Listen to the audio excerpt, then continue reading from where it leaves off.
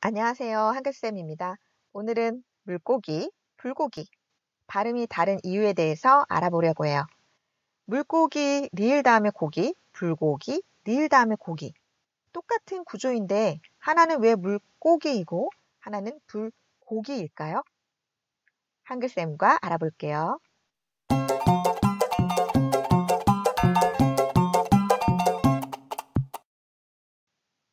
물고기는 물하고 고기가 합쳐진 단어죠. 명사하고 명사가 만났는데 앞에 나온 명사가 물이라는 장소예요. 물에 사는 고기가 물고기죠. 자, 이런 비슷한 단어들을 한번 볼게요. 들깨, 달동네, 바닷가재, 민물고기 이런 아이들이 있습니다.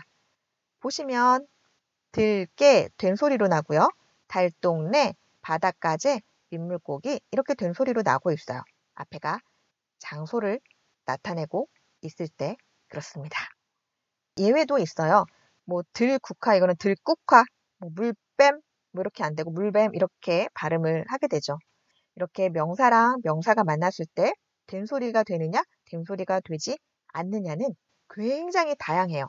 예외도 많고 그래서 일반적인 경향이 이렇다라는 거로만 이해해 주시면 좋겠습니다. 이제 불고기를 한번 볼게요. 불고기는 불하고 고기가 합쳐진 단어죠. 앞에 있는 불이 방법을 나타냅니다. 불로 구워서 먹는 고기가 불고기이죠. 그러면 비슷한 단어를 볼게요. 불장난, 칼국수, 동량젓, 찜닭.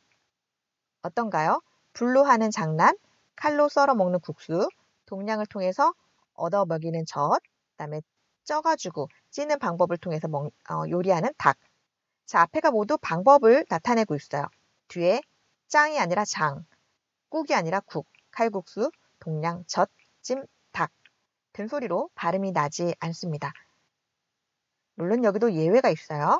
자, 눈칫밥, 동량밥. 여기 똑같은 동량인데 하나는 동량밥 된 소리로 발음이 나고 있어요.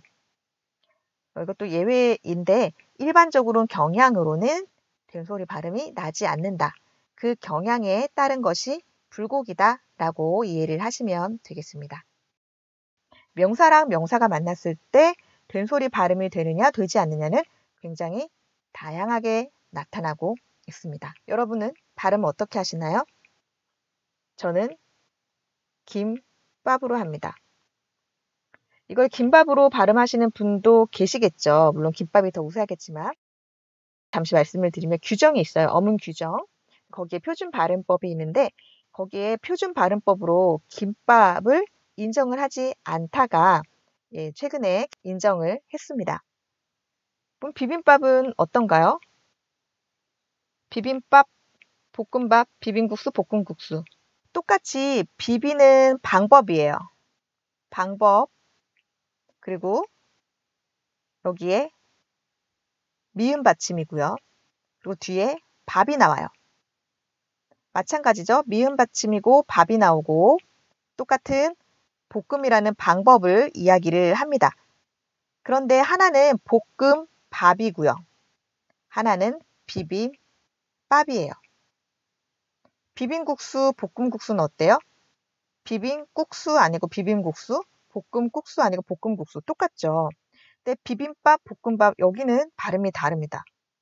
김밥도 되고 김, 밥도 되고. 어우, 이거 어떡하나요? 명사랑 명사가 만났을 때 된소리 발음이 되느냐 되지 않느냐는 굉장히 다양하게 나타나고 있습니다. 다양하게 나타나고 있지만 그리고 예외가 굉장히 많아서 일반화하기가 쉽지 않지만 앞서서 물고기, 불고기 말씀드린 것처럼 좀 일반 어, 경향성을 좀 볼 수가 있어요. 그래서 이 팁을 좀 말씀을 드리려고 하는데요. 제가 여기 좀 어려운 말을 써놨죠. 사입소리. 우리가 명사하고 명사하고 만나서 이 뒤에 있는 명사가 된소리로 발음이 되는 거를 사입소리라고 이야기를 합니다. 음, 요거는 이제 문법적인 용어니까 기억은 안 하셔도 되고요. 그러면 이 팁을 알려드리면요. 항상 사이시옷이 있는 게 있어요. 자, 걱정거리, 사이시옷이 있다라는 거는 이제 된소리로 발음이 된다라고 이해를 하시면 돼요. 받침이 없는 경우에는 시옷이라는 받침이 들어가고요. 그래서 사이에 들어가는 시옷이다 그래서 사이 시옷이라고 얘기를 합니다.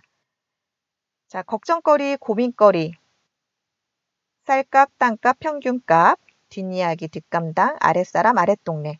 위에는 된소리 발음이 되고 밑에는 시옷이 표기가 되죠.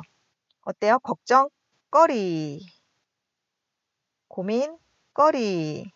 자, 원래 거리인데 항상 거리로 발음이 돼요. 값도 마찬가지예요. 쌀값, 아파트값, 뭐 땅값 이런 거다 된소리로 발음이 됩니다. 이 뒤 아래도 마찬가지인데요. 이때는 이제 받침이 없죠. 그래서 시옷이라는 사이에 사이 시옷이 들어가게 됩니다. 그래서 뒷이야기, 뒷감당, 아랫사람, 아랫동네 이것도 마찬가지로 항상 그렇습니다. 항상 그러니까 좀 편하시죠? 네. 자, 그리고 또 하나 팁. A 플러스 B 명사의 관계에 의해서 의미가 결정이 돼요. 아까 물고기 보셨듯이 장소일 때, 그 다음에 불고기 보셨듯이 방법일 때에 따라서 조금 달라지는데요. 자, 아, A가 B의 장소이면 물이라는 장소, 달이라는 장소가 되게 되면은요. 물고기, 달동네, 된소리로 발음이 돼요. 자, 된소리로 발음이 된다라는 거죠. 봄비, 봄비, 아침밥. 자, 시간의 경우에도 마찬가지예요. 가을비, 겨울비 마찬가지예요. 봄비, 아침밥, 점심밥 다 마찬가지입니다. 이것도 된소리로 발음이 나고 있죠. 네, 불고기, 방법의 경우에는 된소리가 나지 않고 또 재료인 경우에도 고무, 신, 콩, 밥, 콩으로 만든 밥 이럴 때는 사이시옷이 없어요. 자, 똑같은 밥이죠. 아침밥, 콩밥, 비빔밥, 볶음밥 네, 이렇게 달라지는 거. 어, 일반적인 경향성, 의미 관계를 기억을 하시면은 어, 좀 이해하기가 쉽지 않을까 생각이 듭니다. 물고기하고 불고기 발음이 다른 이유 이제 퀘스천 마크에서 반짝반짝 불이 들어오시나요? 자, 물고기, 물이라는 장소 이기 때문에 물고기 된 소리로 발음이 되고요. 자, 불이라는 어떤 방법 이기 때문에 된 소리로 발음이 되지 않아요. 그런데 이거는 이제 일반적인 경향을 따른 거고요. 그렇지 않은 예외들도 굉장히 많다라는 걸 기억을 하시면 좋겠습니다. 그러면 오늘 이야기는 여기서 마치고요. 저는 다음 시간에 또 인사드릴게요. 여러분 안녕.